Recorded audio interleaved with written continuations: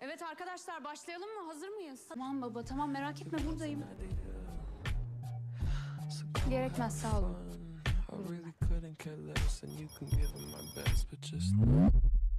Saçmalıyorsun. Siz Aziz Türel'in kızı mısınız? Pardon ne değişecek? Hiçbir şey yapma tamam mı? Otur, sus, yeme, içme.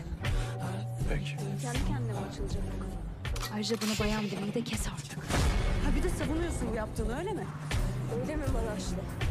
Sen kaşındın lan. Oldu. Bir de GPS'li tasma falan takalım istersen.